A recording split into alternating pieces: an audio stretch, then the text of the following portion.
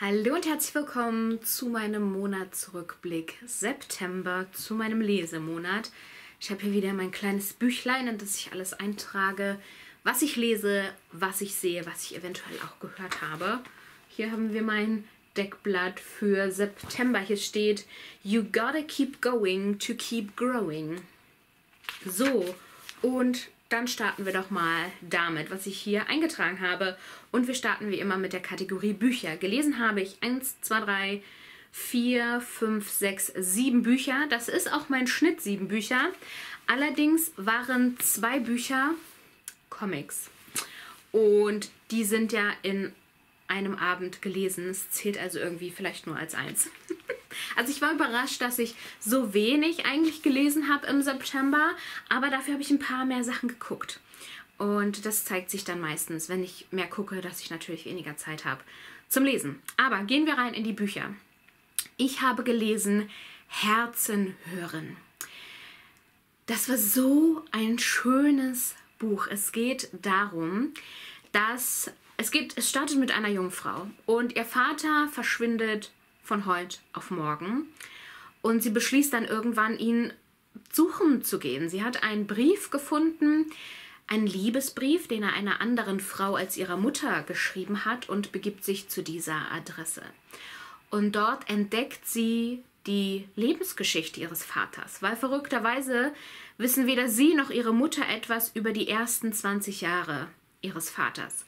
Und es ist eine unglaublich bewegende Geschichte, sowohl im persönlichen, also dass es dem Vater passiert ist, als auch diese Liebesgeschichte, die da mit dran hängt. Ist unglaublich wundervoll. Und trotzdem hatte ich immer wieder beim Lesen das, dieses, aber warum hat er das getan? Warum hat er die Tochter zurückgelassen? Warum hat er sich für diese eine Liebe und gegen diese andere Liebe entschieden? Und hat er das überhaupt? Oder ist das nur mein von der Gesellschaft geprägtes Denken, was hier spricht? Und deswegen habe ich auch wahnsinnig lange für das Buch gebraucht. Es ist ein sehr, sehr dünnes Büchlein. Ich habe lange, lange gebraucht, weil man langsam liest, weil man viel darüber nachdenkt, was man liest und weil die Geschichte einen einfach auch so emotional packt. Aber kann ich euch sehr empfehlen. Ich habe mir auch direkt Teil 2 besorgt. Habe ich noch nicht gelesen, möchte ich aber definitiv auch noch tun. Dann habe ich als zweites Buch Three Women gelesen. Ähm, habe ich ja auch sehr gemocht. Habe ich in meinem Reading-Vlog ein bisschen ausführlicher auch darüber gesprochen. Es ist die Geschichte von drei Frauen, logischerweise. Und zwar, und das wird dann erst tatsächlich im Nachwort aufgedeckt, diese Geschichten sind tatsächlich so passiert. Und als ich das gelesen habe, also gerade die eine Geschichte, dass das tatsächlich so vor Gericht passiert ist. Also wir begleiten drei Frauen. Ähm, und es wird immer kapitelweise zwischen den Frauen gewechselt. Da muss man sich am Anfang des neuen Kapitels immer kurz, ah, welche war das jetzt? Ah, okay, kann weitergehen. Ähm, wir begleiten drei Frauen eine Frau, also sie ist mittlerweile eine Frau, aber es geht darum, dass sie als junges Mädchen, ich glaube mit 16, eine Beziehung zu ihrem Lehrer hatte. Und sie bringt das jetzt vor Gericht und was da vor Gericht passiert. Also wo verschwimmen die Grenzen von Überredung, Vergewaltigung, Beziehung, ich habe mich aus freien Stücken aus Liebe für diese Beziehung und für diesen Mann entschieden. Und auch wieder dieses, wem wird geglaubt? Wer ist denn das eigentliche Opfer? Und immer wenn man diese Geschichten liest, hat man, hatte ich, und ich glaube, das haben ganz viele, dass man Sachen liest und liest, das habe ich auch schon gemacht, das mache ich immer noch. Und im Buch wird erklärt, warum man das als Frau tut. Und es ist so, und ich habe jetzt mittlerweile erlebt, ich habe verstanden, warum ich es tue und es fällt mir nicht mehr schwer, es nicht zu tun. Deswegen empfehle ich jeder Frau, dieses Buch zu lesen. Die zweite Frau ist verheiratet mit ihrem Mann und ihr Mann findet es ganz toll, wenn sie Sex mit anderen Männern hat. Er muss nicht immer dabei sein, also sie filmt das oder sie schreibt ihm währenddessen Textnachrichten. Und auch da wieder dieses, wo geschieht etwas aus freien Stücken? Oder wann geschieht etwas, weil wir gefallen wollen, gefallen müssen? Und man hat immer wieder auch Rückblenden in die Geschichten dieser Frauen, die, wie war das Elternhaus, wie waren die Mütter zu denen, wie war von Anfang an ihre Beziehung zu ihrem Körper. Und das ist so, Leute, jede Frau in dieser Gesellschaft erkennt sich in diesen drei Frauen. Die dritte Frau ähm, ist am Anfang ihrer Geschichte noch mit ihrem Mann zusammen und trennt sich dann. Aus Gründen, die wir alle nachvollziehen können. Ein Mann, der sie nicht mehr berührt, ein Mann, der ihr keine Liebe, Zärtlichkeit mehr entgegenbringt. Eine Frau, die nur noch für Haushalt und Kinder zuständig ist und kein anderes eigenes Leben mehr lebt und die sich dann trennt und die dann sich in eine Affäre stürzt mit einem verheirateten Mann. Und auch da wieder die Frage, ist es Liebe, ist es Abhängigkeit? Tut sie das, weil sie ihn wirklich will oder tut sie das, damit er überhaupt irgendjemand ist? Was sie alles für ihn tut, unter welchen Zwängen sie es tut, warum diese Zwänge da sind. Ich habe danach von der Autorin noch zwei Bücher angefangen zu lesen, die haben, die waren für mich leider gar nichts, gar nichts. Aber Three Women möchte ich euch wirklich, wirklich wärmstens empfehlen. Dann habe ich Funny Story gelesen. Das war ja auch ein Buch, was fand ich relativ in aller Munde war und was mir auch sehr gut gefallen hat. Und ich möchte definitiv noch weitere Bücher der Autorin lesen. Die habe ich mir auf meine Leseliste für 2025 gesetzt. Bei Funny Story geht es darum,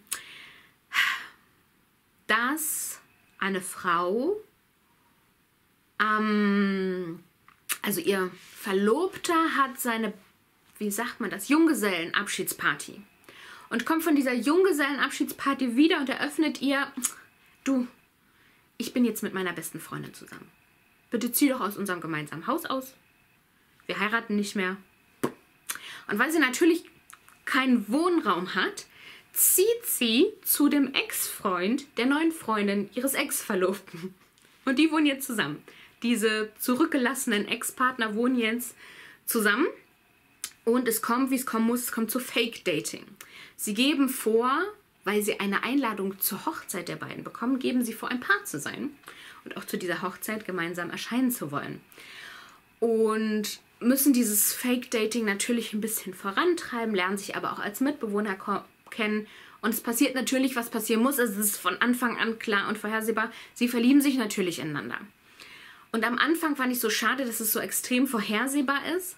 Aber das Setting ist mega toll. Sie ist nämlich Bibliothekarin und wir bekommen so ein paar Einblicke, das liebe ich ja, wie sie Kinder im Lesen fördert. Habe ich geliebt, dieses Setting der Bibliothek. Und die beiden Figuren sind auch wirklich sehr, sehr interessant. Und zum Ende hin habe ich krass geweint, weil es um Bindungsmuster geht. Also welche Bindungsmuster habe ich, welche Bindungsmuster gehe ich immer wieder ein und warum tue ich das? Und da eben auch die Einladung zu nutzen, das mal zu, für sich zu reflektieren. Was habe ich denn für ein Bindungsmuster? Warum gehe ich das ein? Super spannend, super interessant, kann ich auch sehr empfehlen. Dann habe ich als viertes gelesen von Agatha Christie auf doppelter Spur. Agatha Christie begleitet mich bestimmt schon seit 25 Jahren. Ich habe als Jugendliche jeden Miss Marple-Roman gelesen, den es irgendwie gab. Jetzt als Erwachsene bin ich ähm, eher so auf Hercule Poirot gesprungen, obwohl ich gerne mal wieder was von Miss Marple lesen möchte. Aber unsere Bibliothek früher, die hatten jedes Miss Marple Buch. Heute gibt es noch eine Handvoll Agatha Christie Romane, weil das halt alte Bücher sind, die dann irgendwann aussortiert werden. Finde ich super schade. Weil gerade jetzt so die Herbstzeit, die Winterzeit, das ist so Krimi-Zeit. Und ihr wisst, ich bin überhaupt nicht für, für Thriller und Krimis zu haben, wenn das so ganz doll gänsehautmäßig ist. Aber Agatha Christie, das kann man gut lesen. Und man weiß nie, wer der Mörder war, bis man es liest. Weil sie natürlich Infos vorenthält, die man nicht hat. Aber man rätselt halt immer so mit und es ist wirklich so dieses. Ich glaube, das ist Cozy Crime. Agatha Christa. Agatha Christa. Agatha Christie. Hat mir sehr viel Spaß gemacht. War ein dünnes Büchlein, habe ich schnell gelesen, war toll. Möchte ich auch weiterhin wieder regelmäßig tun. Dann habe ich, habe ich euch schon kurz gerade gezeigt, habe ich gelesen die ersten zwei Teile von Grün und Gold. Es wurde im Internet ähm, empfohlen für Fans von Heartstopper, weil es um queere erste Liebe geht. Ich finde, es ist aber gar nicht so doll vergleichbar mit Heartstopper. Heartstopper ist schon hier oben und Grün und Gold kann da oben einfach nicht mithalten. Heartstopper ist ein eigenes Universum für sich, mit dem man sich vielleicht auch nicht unbedingt vergleichen sollte. Ich verstehe natürlich diesen Marketing-Trick, hey, wenn du Heartstopper mochtest, wirst du das auch mögen. Und das ist auch so. Ich, ich mochte das tatsächlich sehr. Ähm, Grün und Gold, Liebe in allen Farben. Das war wie gesagt Teil 1. Ich habe mir das immer, damit habe ich mir, also ich habe halt Grün und Gold Abende gemacht, weil so ein Comic liest man in 45 Minuten. Wenn man ein bisschen langsamer durchgeht und ein bisschen mehr ähm, die Bilder betrachtet und darin so ein bisschen eintaucht, eine Stunde. Und habe jetzt Teil 1 und 2 gelesen und ich bin in der Geschichte noch nicht sehr weit gekommen. Also es passiert nicht viel in jedem Buch. Ich bin auch immer noch sehr verwirrt. Das Problem ist nämlich, dass viele Charaktere sich sehr ähnlich sehen und dann verwechselt man die ständig. Und ich weiß noch nicht, wer alles schwul ist. Also aktuell, nach zwei Teilen, könnten es, wartet, fünf sein, glaube ich. Also schwul und oder bisexuell. Fünf. Es gibt nicht Nick und Charlie. Es ist so ein, also es geht schon um diesen Pete, aber da sind auch noch so viele andere Menschen und ich weiß gar nicht, wer will denn hier was von wem? Wer fühlt sich denn zu wem hingezogen? Wessen Geschichte erzählen wir hier eigentlich? Das ist ein bisschen, das ist ein bisschen verwirrend. Und ich muss jetzt bis Februar warten, bis Teil 3 rauskommt. Und ich hoffe ja, dass mir der endlich ein bisschen Aufschluss gibt, wessen Liebesgeschichte erzählen wir hier? Oder erzählen wir gar nicht eine Liebesgeschichte, sondern die von fünfen oder des ganzen Internats? Denn es spielt in einem Internat. Und ähm, wir starten damit, dass die Zehntklässler ihre neuen Patenschüler bekommen. Das sind die Siebtklässler, die jüngsten. Und da lernen wir als Zehntklässler eben auch Pete kennen, der ähm, seinen äh, Patenschüler bekommt und das ist Tim. Und Tim ist super krass verschlossen. Ich bin sehr gespannt, was Tim passiert ist, dass er so ist. Und ich habe erst gedacht, das ist die Liebesgeschichte von Pete und Tim. Ich bin mir ziemlich sicher, dass Pete gay ist. Bei Tim habe ich keine Ahnung. Pete wird aber auch noch von anderen angebaggert. Und eventuell ist Pete's Bruder auch gay. Oder auch nicht. Ja, aber es ist wunderschön gezeichnet. Es macht wirklich Spaß. Ich werde es öfter lesen. Vielleicht verstehe ich dann auch noch mehr, wenn ich es noch zwei, dreimal gelesen habe. Aber das ist wirklich so, das nimmt man sich mal einen Abend hin. An einem Abend kann man sogar auch beide Bände lesen. Hat mir großen Spaß gemacht. Ist wirklich sehr, sehr schön. Und als letztes Buch im Monat September habe ich gelesen von Liz Tomford, Mile High. Kann ich auch jetzt für die Zeit empfehlen, weil die Geschichte im Oktober anfängt zu spielen. Und es geht um Sanders und wie? Wartet. Stevie. Sanders und Stevie. Sie und wie. Ähm, und er ist Eishockeyspieler und sie ist Stewardess. Und sie fliegt quasi nur für sein Team. Also das Team hat eine, eine, eine, eine Crew auf dem Flugzeug, was immer gleich ist. Und dadurch lernen die sich halt kennen und fühlen sich irgendwie zueinander hingezogen. Das Problem ist nur, Stevie hat sich geschworen, nie wieder was mit einem Sportler anzufangen, weil sie schon einmal von einem Sportler extrem verletzt wurde. Und Stevie, und das ist, ah, das ist der Grund, warum ich angefangen habe, überhaupt dieses Buch zu lesen. Stevie ist plus size. Und das ist so ein wichtiger Bestandteil dieses Buches, weswegen ich euch das Buch auch empfehlen möchte. Die Story haben wir schon oft gelesen, ne? Sports Romance, Forbidden Love, Enemies to Lovers, haben wir schon oft gelesen. Aber diese Thematik mit dem Plus Size ist so gut gemacht, das habe ich so gut noch nie gelesen, weil es wirklich mal ernsthaft thematisiert wird und sie ausspricht, was sie für Schwierigkeiten mit ihrem Körper hat, was die Gesellschaft damit zu tun hat, was ihre eigene Mutter damit zu tun hat und was das halt im Dating bedeutet. Und auch wie Zen das, das handelt, ist So wünschen wir uns das. Aber auch wenn es dann um Sex geht, wie fühlt sich sie sich dann mit ihrem Körper? Wie kann er ihr ein besseres Gefühl geben? Oh, das habe ich geliebt. Das war so perfekt umgesetzt. Und Stevie wird wirklich, es gibt ja auch Plus-Size-Figuren in Romanen. Weiß ich nicht. Wenn ich mir die so vorstelle, denke ich, die haben wahrscheinlich eine Größe 40. Kannst du bitte meine Ketten in Ruhe lassen? Oder so, ne? Ähm, hier bei Stevie reden wir schon von was mehr und da wird auch explizit darauf auf, äh, eingegangen, wie ihr Körper aussieht, warum der so aussieht, was sie für Schwierigkeiten damit hat. Oh Leute, ich liebe das. Und natürlich kommt es dazu, dass die Presse Wind davon bekommt, dass die beiden was miteinander haben und sie wird in der Luft zerrissen im Internet. Diese dicke Frau, die doch gar nicht mit diesem sexy Bad Boy zusammen sein kann, das ist doch unmöglich und das ist so, oh Leute. Es ist so relatable. Ich habe das so, so, so geliebt. Also wie gesagt, die Story haben wir so oft schon gelesen. Aber dieser Punkt, der hat mich wirklich begeistert. Und deswegen ein Buch, was ich euch auch sehr ans Herz legen möchte. Ich werde jetzt anschließend sofort Teil 2 lesen. Das ist eine Reihe, die Windy City Reihe. Und ich weiß auch schon, um wen es geht. Hat man hier schon kennengelernt. Freue ich mich sehr drauf. Das war es an Büchern. Ich habe viel an Serien geschaut. Ich habe natürlich Emily in Paris Staffel 4 geschaut. Ich habe gewartet, bis alle Folgen draußen war, weil es war ja wieder so doof, dass ein Cut gemacht wurde. Und erst der erste Teil, die ersten fünf Folgen rauskamen, dann die zweiten fünf Folgen. Ich habe gewartet, bis alles draußen war und habe dann Emily's in Paris Staffel 4 geguckt. Und ich habe gedacht, das ist die finale Staffel. Jetzt kommt noch eine Staffel. Leute, das ist ausgelutscht. Es passiert immer wieder dasselbe. Die, St geraten immer wieder in neue Beziehungen, die reflektieren ihre Beziehung nicht. Es geht immer um denselben Kerl. Und wenn ich mir denke, wenn es jetzt noch nicht mit dem funktioniert, lass es doch einfach bleiben. Das ist nicht gesund. Lass den einfach. Warum noch eine fünfte Staffel? Es macht Spaß zuzugucken, aber es müsste ein Ende geben.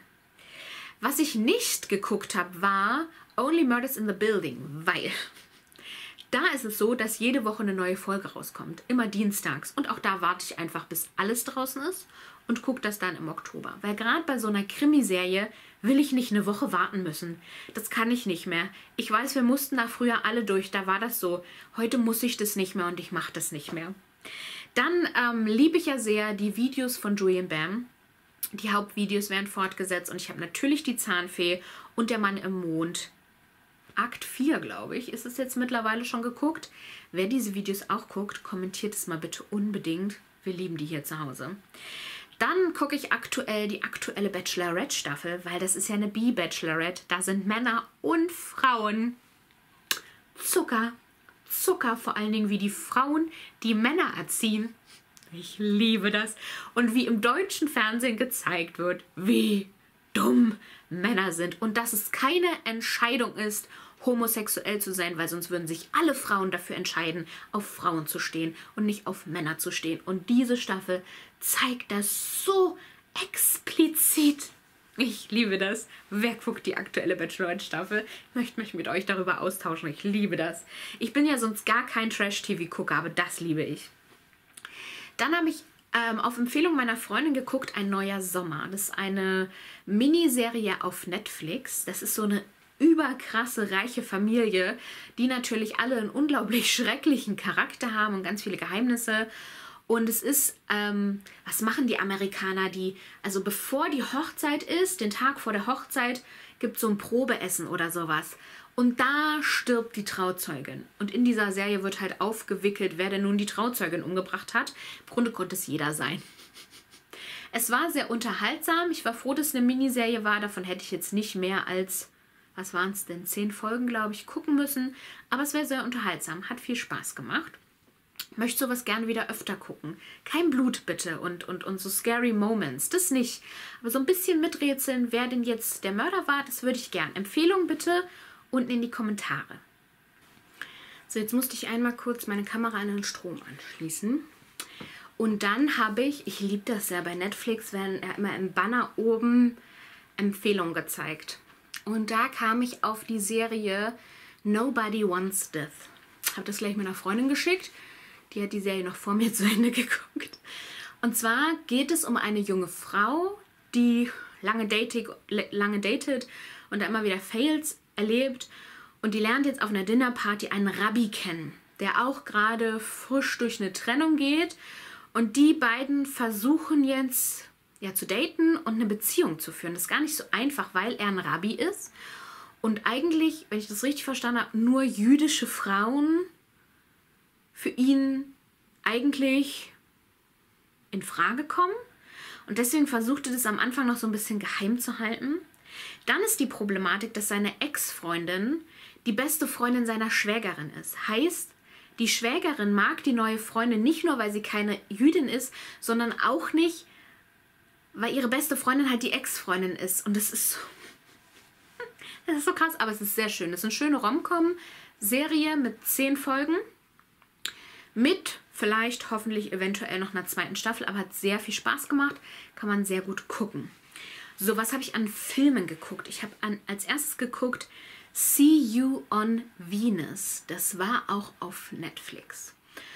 Und zwar eine junge Frau, die sich auf die Reise macht, ihre Mutter zu finden, weil ähm, sie quasi ins, ins Kinderheim kam, in das System kam, in zig Pflegefamilien kam und jetzt halt 18 ist und ähm, sich auf die Reise macht, ihre Mutter zu finden und dabei einen jungen Mann mit einsackt und den da auf diese Reise mitnimmt. Es war super süß, kann man wirklich schön gucken. Hatte dann auch nochmal so einen Twist, wo ich erst dachte, nein, nein, muss ich jetzt am Ende ganz viel heulen? Oh, bitte nicht, ich habe nicht erwartet, dass es so ein Film wird. Ich kann euch beruhigen, es wird nicht so ein Film. So, dann habe ich Ugly geschaut und dank euch weiß ich jetzt auch, dass es eine Buchverfilmung ist. Ich war kurz davor, die Bücher jetzt zu lesen, weil ich echt gespannt bin, wie es weitergeht. Ah, weiß ich noch nicht. Manchmal können die Bücher auch scheiße sein. Ich warte vielleicht doch lieber auf den Film, weil Ugly, was ich nicht wusste, endet mit einem Cliffhanger und es gibt mindestens einen zweiten Teil. Worum geht's in Ugly? Es ist eine Dystopie. Wir leben in einer Welt, wo wieder ganz viele Lebensweisen, Lebensarten sich abgespalten haben. Alle haben eine schöne Mauer um sich rum. Und wo wir starten, das ist eine Stadt, in der wirst du isoliert, bis du 16 bist, weil da bist du hässlich. Mit 16 hast du dann deine verändernde OP. Also es geht los. Also wirklich so, da wird dir die Nase gemacht und kriegst eine neue Haarfarbe und eine neue Augenfarbe. Alles wird an dir verändert. Und das Verrückte ist, dass während die Aussätzigen da in ihrem Wohnheim leben, wird ihnen an ihre Zimmerwand tagtäglich projiziert, wie sie nach dieser OP aussehen. Und damit werden sie täglich konfrontiert, dass sie hässlich sind und dass nur das das schöne Idealbild ist. Und nur wenn sie die OP hatten, dürfen sie dann am allgemeinen Leben teilhaben. Schon das ist so krank. So, und wie es immer in Dystopien ist, haben wir Rebellen, die raus wollen, die über die Mauer wollen, weil da hinter der Mauer gibt es andere Lebensarten, wo du nicht diese OP durchziehen musst. Und da lernt dieses Mädchen, die Hauptdarstellerin, die wir begleiten, dass sie nicht hässlich ist. Ja, aber es endet mit einem Cliffhanger. Leute, das habe ich nicht erwartet. Das war, das war ein Schock, wo ich dachte, nee, nee, jetzt, also nee, jetzt, jetzt müssen wir doch weiter, nee, jetzt müssen wir weitermachen. War ein toller Film, war ein genialer Film, wirklich. Ugly. Netflix, kann ich euch sehr empfehlen. Dann waren wir im Kino und haben den neuen Minions-Film gesehen. War okay. Und wir haben die Schule der magischen Tiere Teil 3 gesehen. Das war von daher super spannend. Ich habe die Bücher nicht gelesen. Keines meiner Kinder hat die Bücher gelesen. Aber das war insofern spannend, dass in der Stadt, in der wir den Film im Kino geguckt haben, sehr, sehr viele Szenen gedreht wurden. Ich glaube bis zu 13 Stück und den Film zu gucken und immer wieder, ah da, ah da, ah da. Das war so cool und es ist ein super Thema. Ich finde das thematisch, den Thema, das Thema des dritten Films so gut. Es geht um Wald, es geht um Natur. Mm, die Lieder natürlich wieder toll. Die laufen hier jeden Tag bei den Kindern, die Lieder des Films, super gut. Ähm, und ich mag es, wenn ich als erwachsene Begleitperson einen Kinderfilm gucke und da trotzdem Spaß dran habe und nicht ständig auf die Uhr gucke, wann es denn jetzt vorbei ist. Dann ist es für mich ein guter Film. Und haben als Vorschau gesehen, das wusste ich schon vorher, dass die Woodwalkers Buchreihe verfilmt wird. Und das wird der nächste Film sein, den wir uns, ich glaube, die kommen im November raus, ähm, den wir uns anschauen werden. Und dann haben wir immer freitags, also nicht im, in den Sommermonaten, aber wenn es dann so in den Herbst geht, haben wir immer Freitag unseren Filmeabend zu Hause. Und es ist mittlerweile gar nicht mehr so einfach, mit einem Elfjährigen einen Film zu finden, den der noch mit uns gucken möchte. Empfehlungen sehr gerne in die Kommentare. Ich hatte eine Reihe gesucht, weil ich dachte, da sind wir ein paar Wochen abgesichert. So, Twilight ist noch nichts. Ähm, dann hatte ich überlegt, äh, Percy Jackson, habe aber gedacht, äh, weiß ich noch nicht so genau, ob das schon was für die Achtjährige ist. Harry Potter, wir stehen beim ersten Film seit Jahren. Meine Kinder finden den ersten Teil schon sehr gruselig. Ich würde dieses Jahr nochmal den Versuch wagen, über den ersten Film hinauszukommen. Aber vielleicht muss ich auch noch ein paar Jahre warten. Und heute, gestern, heute Morgen, gestern Abend wurde ich darum gebeten, ob ich nicht einfach alle Harry Potter Bände vorlesen kann. Klar. So, also, jetzt komme ich zum Punkt. Was wir jetzt angefangen haben zu gucken, ist die Narnia-Reihe. Ich muss zu meiner Schande gestehen, ich habe die noch nie geguckt. Ich glaube, ich war damals, als die rauskam, schon zu alt dafür und habe deswegen nie die Narnia-Reihe geguckt, die Bücher auch nicht gelesen. Und deswegen haben wir jetzt Teil 1 und 2 schon geguckt. Es hat mir wahnsinnig gut gefallen, den Kindern auch, sogar dem Elfjährigen. Die sind wahnsinnig lang. Also die gehen ja auch über zwei Stunden, die sind wirklich lang, die Filme. Und am Ende des zweiten Teils habe ich Rotz und Wasser geheult. wirklich, da ging gar nichts mehr. Ähm, und diese Woche da ist ja aber schon Oktober, werden wir sozusagen Teil 3 gucken. Und das ist ja dann aber der letzte Teil. Da muss ich mir wieder was Neues überlegen. Deswegen, also gerne Filmreihen, aber ansonsten auch gerne einzelne Filme, die wir mal so, wo wir uns zumindest mal die Trailer angucken können und überlegen können. Ich brauche da neuen Input. Deswegen bin ich sehr gespannt auf eure Kommentare. Auch super gerne. Was habt ihr gelesen? Was habt ihr gesehen? Was habt ihr gehört? Was könnt ihr empfehlen? Da freue ich mich immer sehr drauf. Ich habe übrigens schon, weil ja morgen der 1. Oktober ist, mein Deckblatt für den Oktober vorbereitet. Und da steht sogar schon was drin. Wollt ihr sehen? Weil ich weiß jetzt schon, dass am Donnerstag Hardstopper-Tag ist. Da kommt die dritte Staffel Hardstopper raus. Die habe ich mir bei Serien schon mal eingetragen. Auch Only Murders in the Building möchte ich im Oktober gucken. Und natürlich Narnia Teil 3. Und ich habe auch eine Podcast-Empfehlung nächsten Monat. Dazu aber im Oktober dann mehr. Ich hoffe, der Monatsrückblick hat euch wieder gefallen. Ich freue mich sehr über eure Kommentare. Wenn euch das Video gefallen hat, gebt mir gerne einen Daumen hoch. Das hilft mir hier mit dem Algorithmus sehr weiter. Abonniert meinen Kanal, wenn ihr das noch nicht getan habt. Folgt mir sehr gerne auf Instagram. Der Account ist unten in der Infobox verlinkt. Und teilt meine Videos gerne mit anderen Lesebegeisterten. Und wir sehen uns nächste Woche wieder, wenn ich euch meine Herbstbücher für dieses Jahr zeige. Bis dahin. Tschüss.